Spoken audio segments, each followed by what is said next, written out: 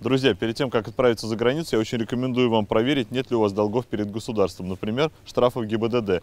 Поэтому именно для вас я в очередной раз рекомендую приложение, которое называется «Штрафы ПДД». Оно позволяет оплачивать штрафы очень легко, подгружает их сразу из двух баз, подгружает с фотографиями, знает о том, что у вас есть скидка на оплату в течение двух недель, поэтому оплачивать будете со скидками. Можно привязать карту, вбить туда все свои машины, просто раз в недельку заходите, обновляете, смотрите, есть новые штрафы, оплатили и забыли, причем со скидками, со всеми пирогами, буквально в два клика. Как это выглядит, вот где-то, куда это Дима поставит, еще не знаю.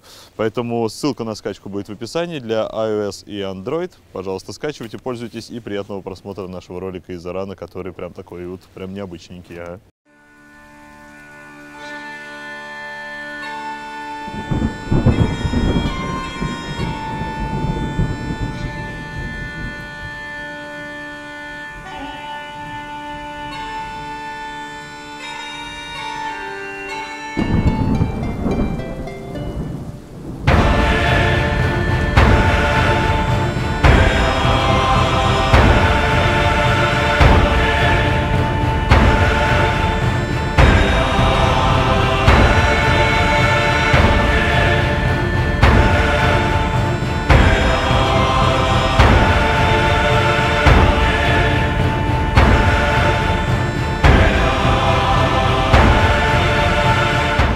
Пошло не по плану. И мы строим на штрафстоянке уже два часа.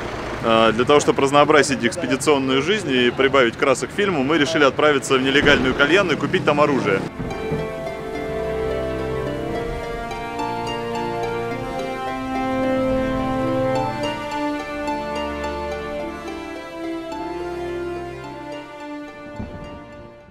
Ребята, всем привет, это Бородатая езда.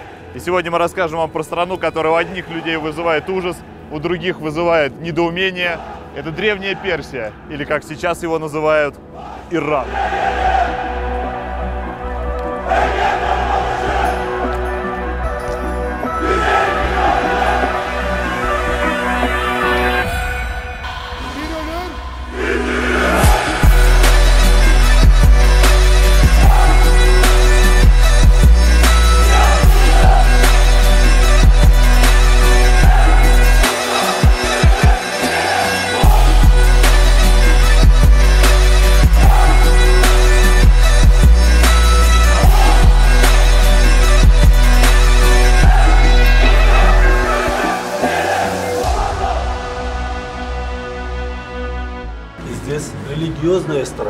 Тогда мужской вариант, женский вариант. Уже мы зайдем э, иранский дом. Но, конечно, не все иранские такие богатые. Это большой бизнесмен. Он коврами занимался, он пшеница, он все, изъем он продал на большую сумму. Видите, когда дом зайдешь, он идет вниз, спускается, потому что внизу прохолод.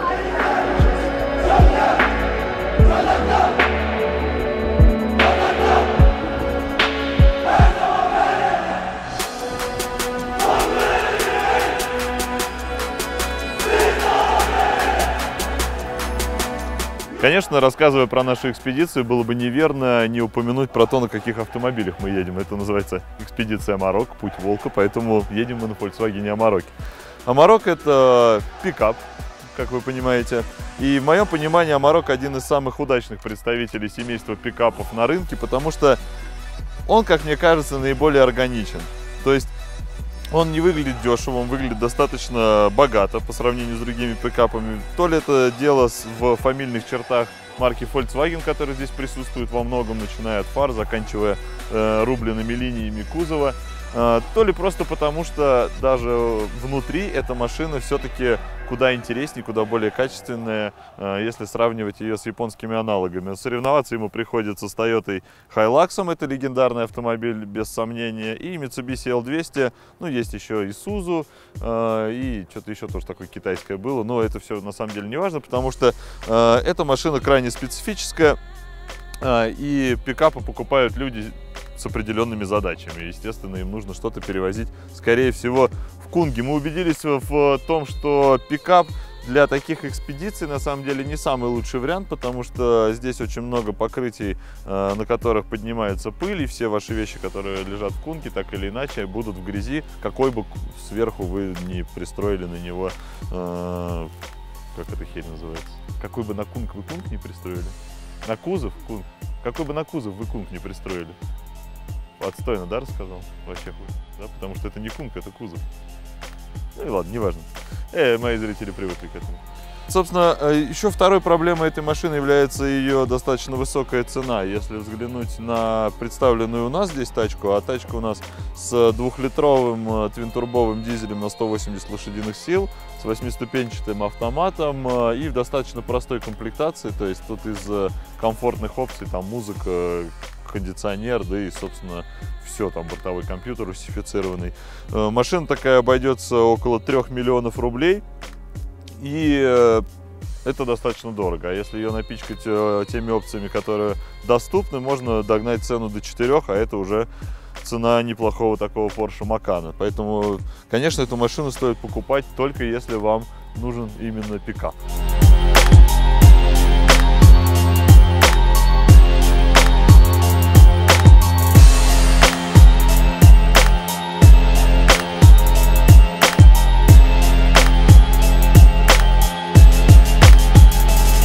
Мне кажется, это идеальное место для туров баскетбольных команд NBA. Кривые спины 2017.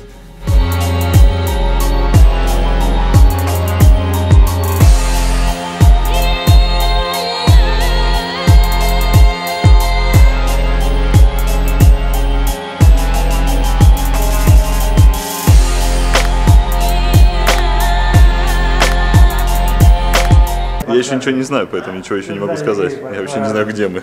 Мы проехали только что 370 где-то километров.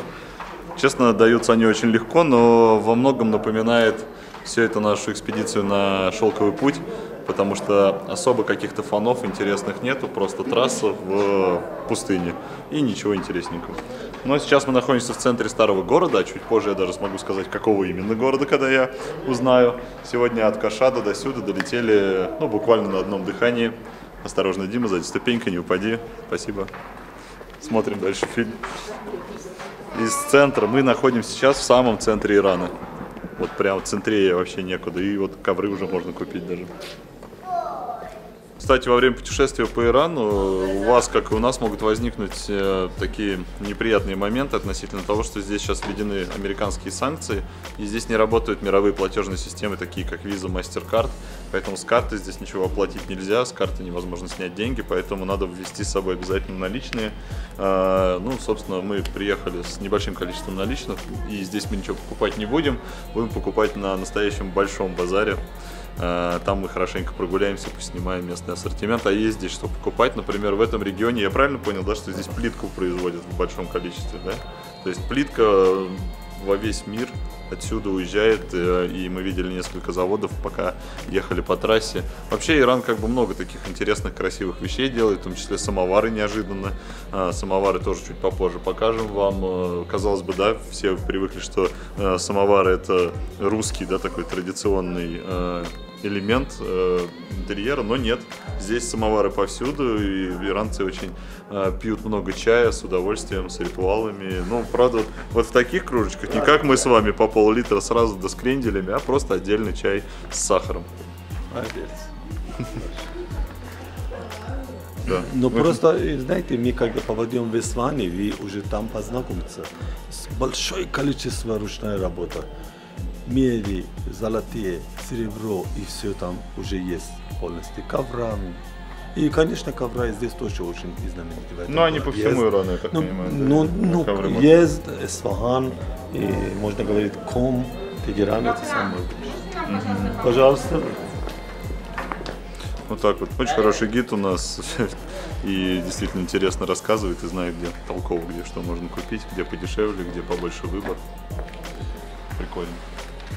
Иран является мусульманским государством, она так называется Ислам, Исламская республика Иран. И женщины здесь э, любого вероисповедания должны ходить с покрытой головой обязательно. Ну, в принципе, правила здесь не очень строгие.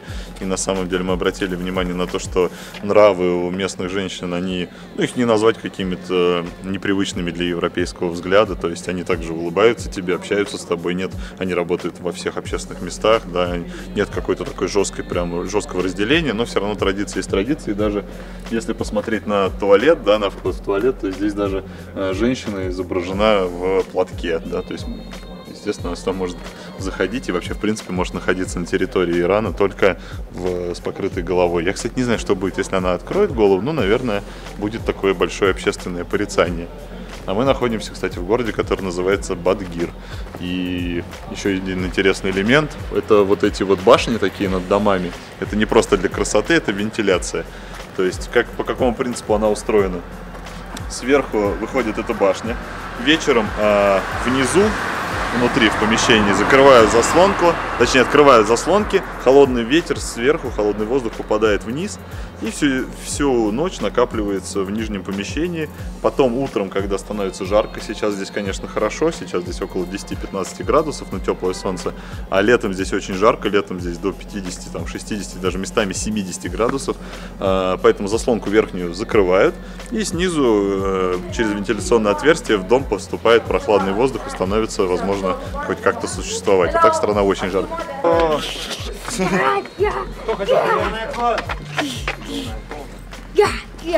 Да ты, ты. Давай, давай, мы все сейчас на крышу посадим. Да. его с собой. И, и что это? Да что это? Битва? Битва? Хочешь полетать? Мальчика нашел. Чей? Только его в живот не целуй. Банановки. Да, неплохо поиграли, согласен. Отлично провели Вообще время. пипец, не зря зашел.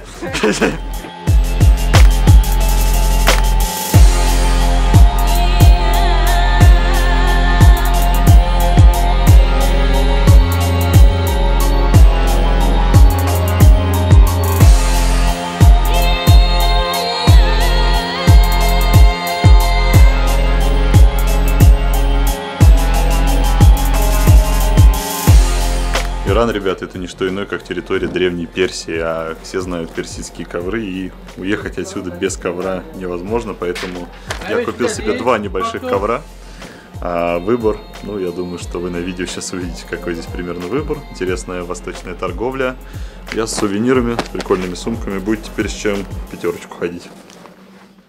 Мы с вами привыкли к тому, что большой автомобиль, такой как, допустим, пикап, вызывает большое уважение на дороге, его немного побаиваются и пропускают, но в Иране совершенно особая культура вождения, основанная, ну, как мне кажется, не на агрессии, а основанная на том, что люди просто едут туда, куда им хочется ехать. То есть э, круговые движения, которые так любят иранцы, э, они являются аттракционом таким... Э, ну, такой круг смерти, я бы его назвал. То есть, э, в основном люди, которые едут в правом ряду, поворачивают налево, а те, которые едут в левом ряду, они хотят повернуть направо.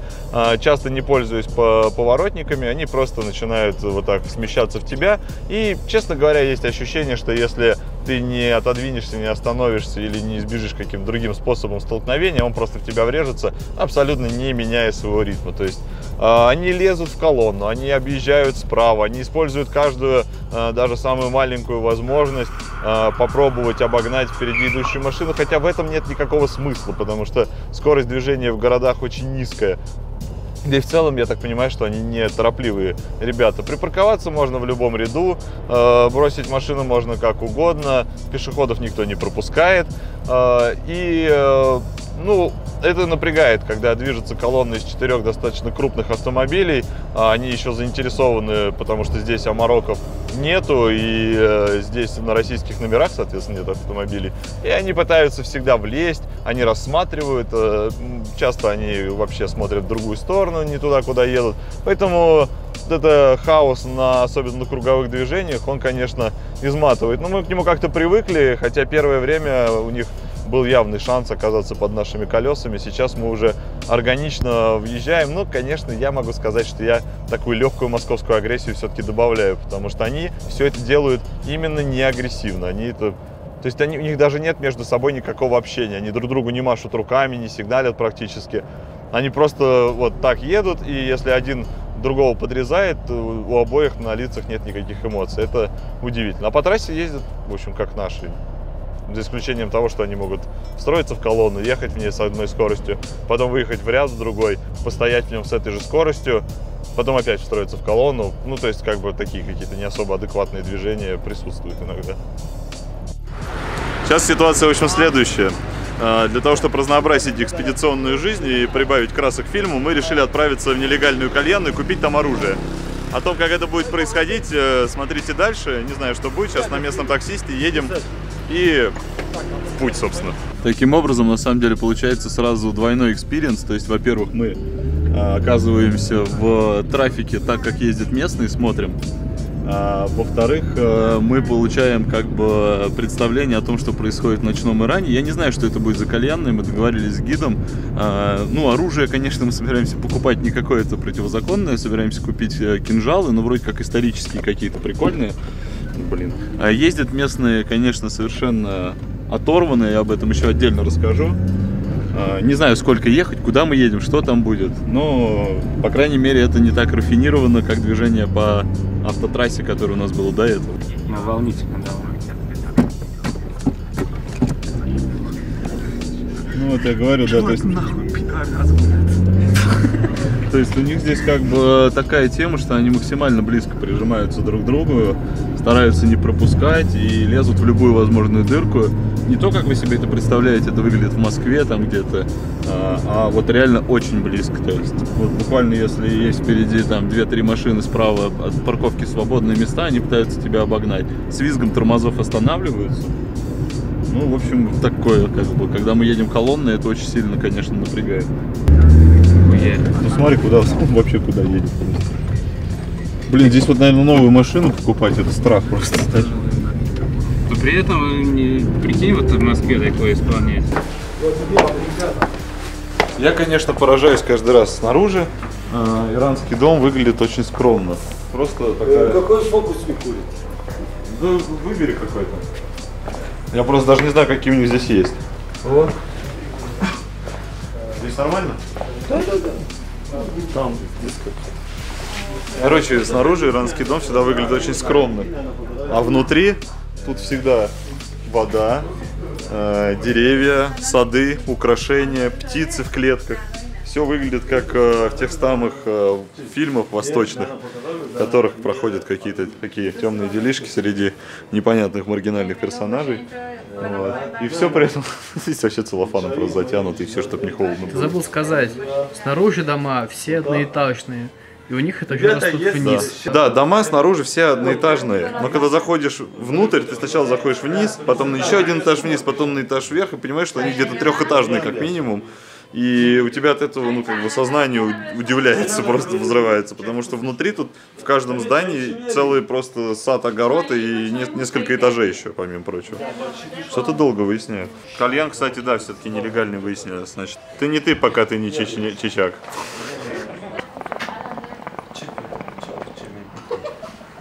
Ну, видите, иранский кальян немножко отличается от нашего. Это керамика?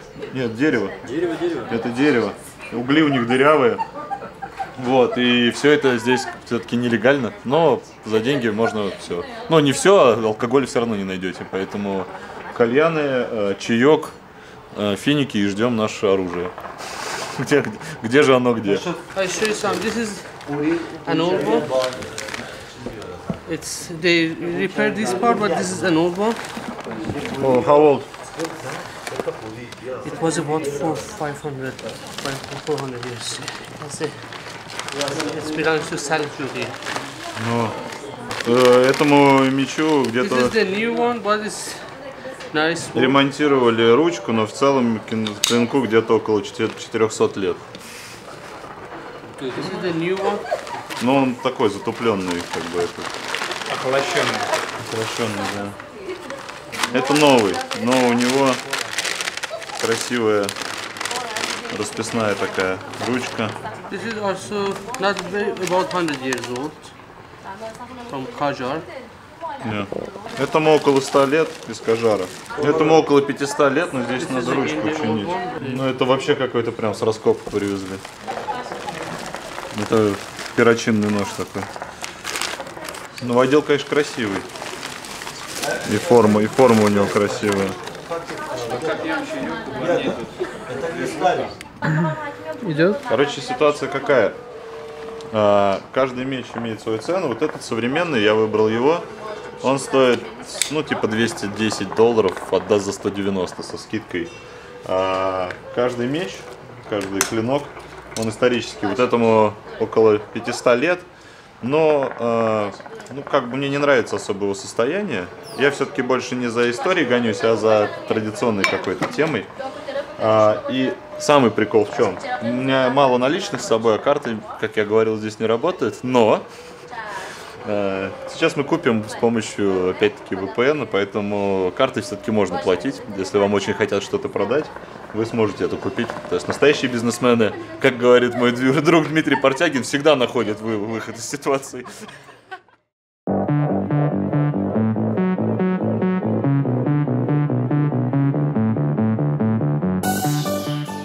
Хорошо стоим, да, ребят?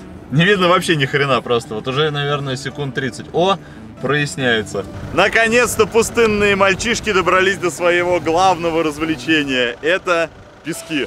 Я не знаю, в какой пустыне мы находимся. Это явно какая-то маленькая такая локальная пустыня. Но мы здесь отрываемся по полной программе. На наших омороках одета внедорожная резина, поэтому мы можем немного покопать песок. Кто-то копает его слишком глубоко, их приходится вытаскивать. Но наконец-то экспедиция из рафинированной такой обычной туристической становится более-менее оффроудно-приключенческой. И э, мы отрываемся по полной программе. Мы гоняем, мы даем боком, мы запрыгиваем на дюны. Конечно, после э, Марокко и после Гоби здесь очень маленькие пески. Но какое... У нас еще все впереди, может быть дальше будет больше. Мы пока ничего не знаем. Пока просто кайфуем, отрываемся, отличная погода, самая, наверное, комфортная. Прохладный ветерок, теплое солнце и все в приподнятом настроении. Поехали покатаемся. Че, поедешь вниз?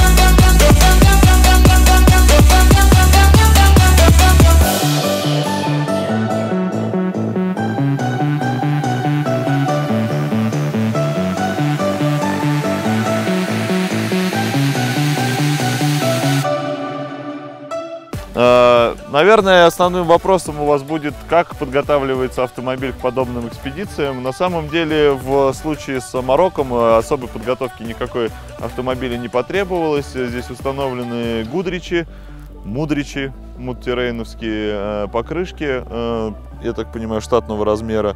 Э, И установлен закрывашка для кузова, которая просто сверху закрывает его на замок. И все, собственно, больше ничего не сделано. Впереди у Марокко независимая подвеска, сзади рессоры, машина постоянная, у машины постоянный полный привод.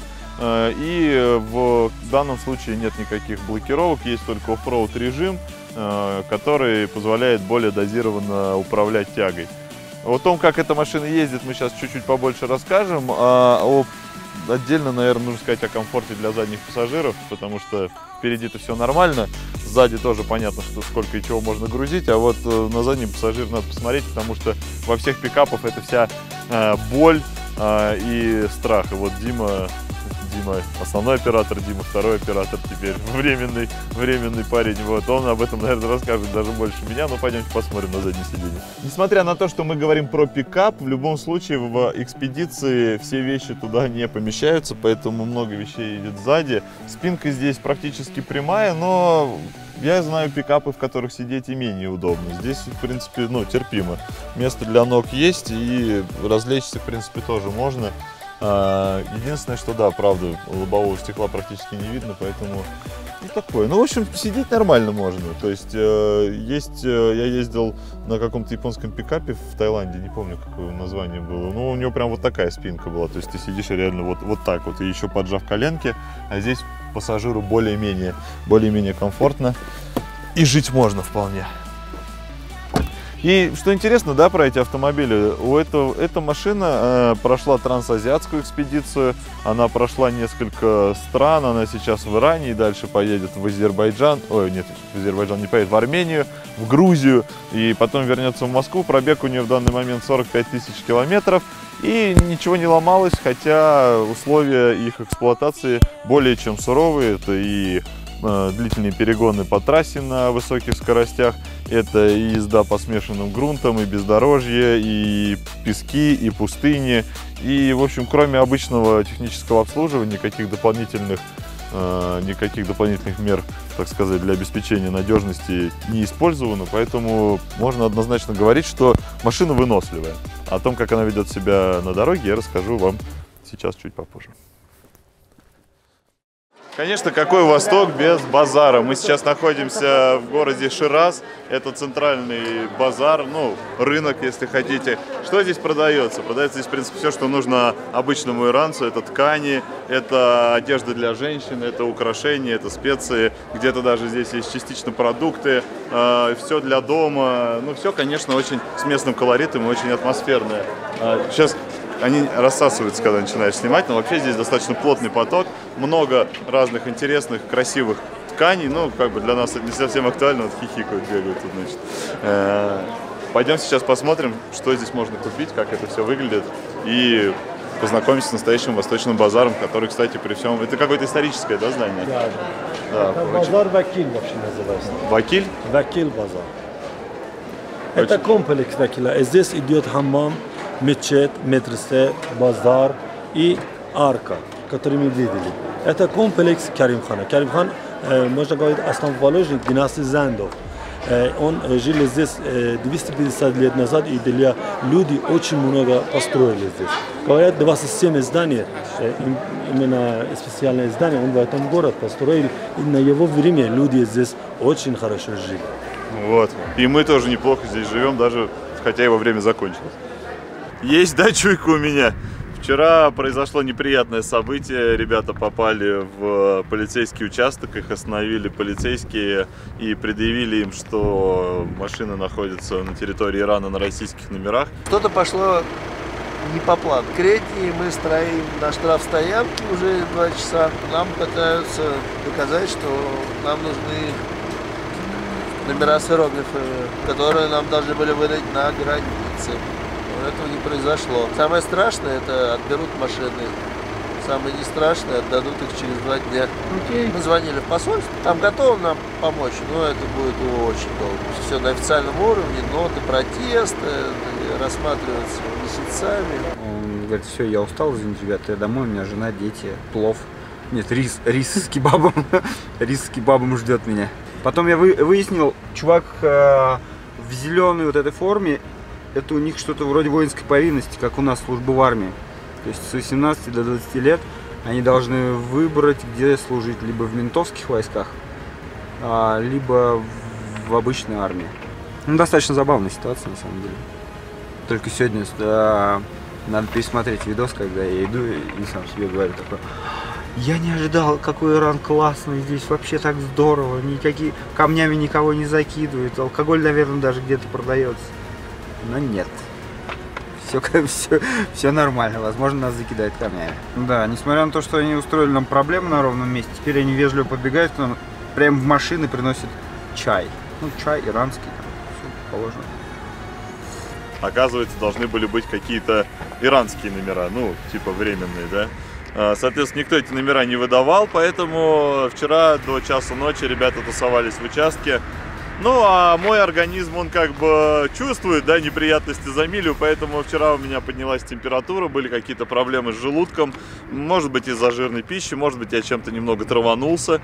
А, В любом случае, сегодня мы можем продолжать свой путь. Я проболелся, про- отдохнул и целый, целую ночь провел в мокрой кровати. Сегодня чувствую себя прекрасно. Мы продолжаем свой путь по Ирану. Сейчас наконец-то начинается что-то действительно интересное. Мы должны сегодня въехать в пустыню и пару дней провести там. Потому что пока что на самом деле ощущение от Ирана как от страны гораздо более цивилизованной, чем мы себе могли предположить. Когда я своим знакомым говорил про то, что мы едем в Иран, все говорили, ты что, а ты вообще сумасшедший просто, там же террористы, там же, там же военные действия, там же постоянная неспокойная ситуация. Я вам скажу так, ребята, вообще, Тут настолько спокойно, что я могу спокойно ночью пойти погулять.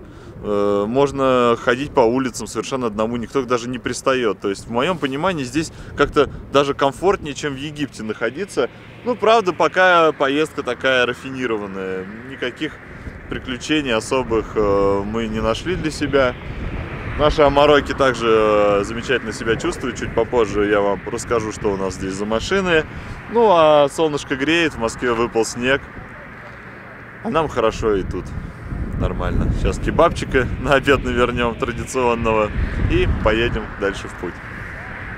А, друзья, шестой день экспедиции Амарок, и наконец-то мы добрались до по-настоящему серьезных дюн. Эта пустыня называется Варзане. Здесь мы сегодня будем развлекаться как можем в песках, будем кататься. Барханы здесь довольно приличного размера. Мы стравили покрышки где-то до 0,6-0,5, ну травим больше по звуку. А, проверим внедорожные и полноприводные способности наших амароков. Надеюсь, хорошо проведем время. А, и, что самое интересное, есть такой определенный контраст. Все пустыни, в которых мы были до этого, там было всегда очень э, жарко. Даже вот в Марокко буквально две недели назад там было 25 градусов до 30, а здесь сейчас около 5 градусов, но солнце достаточно теплое, поэтому интересный контраст того, что мы в песках, но при этом на самом деле очень свежо, прохладно, и если нам надо будет копать, нам будет не так жарко. Ну что, отправляемся, катаемся. Мы находимся в провинции Эсфахан уже. Это провинция Эсфахан. Эсфахан. Это вам очень важно будет знать. Погнали. Нет, я туда, машина там. Рышугай Мусафир! I can't escape you in my mind.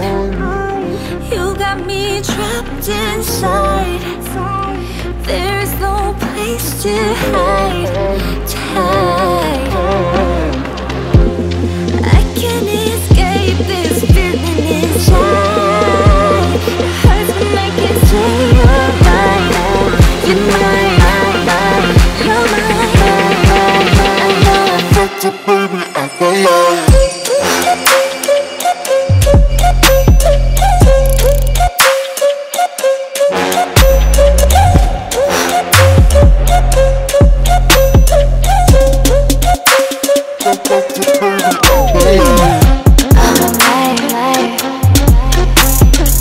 Пустыня для меня каждый раз это стресс, потому что здесь постоянно очень много надо думать, надо смотреть, просчитывать, продумывать, понимать, где у тебя хватит тяги, куда ты можешь выскочить, куда не можешь выскочить. Пытаться найти этот баланс, падать вниз, если тебе не хватает скорости. Ну, то есть пустыня это всегда такое, это непривычное для нас покрытие, ну, для нас, а для Димы привычное, он из Астрахани там есть, где практиковаться, а у нас такого в центральной полосе нет возможности. Поэтому пустыня, с одной стороны, тяжело и э, так стресс такой испытываешь приятный, но с другой стороны, конечно, интересно.